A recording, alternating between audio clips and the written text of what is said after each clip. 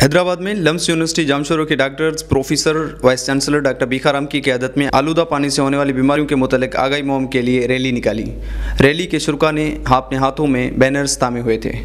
Rally के शुरा ने media से बातचीत करते हुए कहा है कि 11 मार्च से हैदराबाद के तमाम यूनिवर्सिटीज़, कॉलेज और स्कूल्स में आलूदा पानी से होने वाली बीमारियों के मुतलक आगाही फ्राहम कर रहे हैं। आज जो इस रैली का जो मेन जो टॉपिक था, वो था वाटर वाटर बोर्न डिज़ीज़ मतलब वो बीमारियाँ जो पानी से होती हैं। तो अब उन बीमारियों से, जैसे उनमें से सबसे बड़ी बीमारी आपने सुना होगा टाइफॉइड, जैसे मुद्दे का बुखार भी कहा जाता है। तो उससे ऐसी जो खतरनाक बीमारियाँ हैं, उनसे बचने के लिए हमारे, हम एक ही काम कर सकते हैं कि हम अपने पानी को साफ़ रख सकते हैं। तो ये जो पूरी रैली थी इसलिए थी कि आजकल अगर हम इस एरिया में देखें, जैसे हैदराबाद, कराची या और हमारे इंटीरियर सिंध में ही देख लें तो पानी की बहुत मतलब पानी का बहुत मसला है कि या तो साफ़ पानी नहीं होता या पानी कम होता है। एक तो पानी कम होता है और जो पानी होता है वो भी साफ़ नहीं होता। तो पानी को साफ़ कैसे रखा जाए और इतनी खतरनाक बीमारियों से कैसे बचा जाए, उस पर हमने एक सेमिनार अरेंज करवाया था, उसके बाद हमारी ये जो रैली है, वो इसी से ही रिलेटेड इसमें रैली हम लोगों ने निकाली, इसका मेजर हमारा जो मतलब एजेंडा था, उसमें ये था कि लोगों को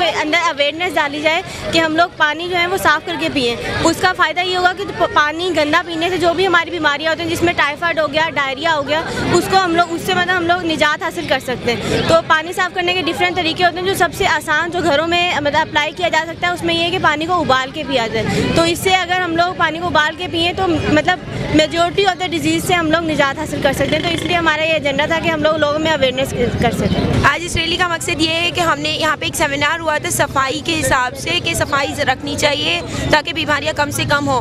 तो उसमें प्रोफेसर बीखाराम देवराजानी ने, उन्होंने ये सेमिनार अरेंज करवाया था और ये हर स्कूल में विज़िट करेंगे ताकि सफ़ाई के हिसाब से हम लोगों को सफ़ाई से प्रिवेंट रख सके ताकि बीमारियाँ कम से कम हो। दूसरी जन, प्रेस क्लब हैदराबाद में vice chancellor doctor Bikharam additional commissioner Hyderabad Tahir Ali Memon और दीगर ने प्रेस कॉन्फ्रेंस से खिताब करते हुए कहा है कि पानी हमेशा साफ़ सुथरा और उबाल कर पिए। पानी को फ़िल्टर करें और क्लोरीन की गोलियाँ और सूरज की रोशनी से भी साफ़ कर सकते हैं। तो इस टाइम जैसे कि ये टाइफाइड फीवर बढ़ रहा है तो उसको कैसे बचाएँ? तो सेफ़ पानी, साफ़ पानी कैसे बनाएँ? क्योंकि आपको पता है कि पूरी दुनिया में जो सेवन, पिचहत्तर फ़ीसद पानी है, और पूरी वर्ल्ड के जो ग्लोब में जो हमारा ग्लोब है, उसमें 25 परसेंट जो है, पच्चीस फ़ीसद हिस्सा जो है वो खुश्क साली का है, जिस पे हम रहते हैं। लेकिन अनलकीली जो पानी इसका less than one percent mean एक परसेंट से भी कम जो पानी है, वो इंसान के काम आता है, जो पीता है। सेहत व सफ़ाई के मुतलिक मालूम पर खुद भी अमल करें और अपने ख़ानदान और दीगर लोगों तक पहुँचा कर बाजिम्मेवार शहरी होने का सबूत दें। कैमरा मैन नज़र मोहम्मद सयाल के साथ कायमली जमाली, ऑनलाइन इंडस्ट्री हैदराबाद।